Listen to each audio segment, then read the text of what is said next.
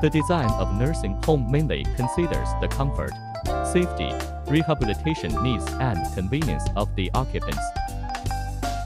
The room is equipped with large windows to ensure good natural ventilation and light.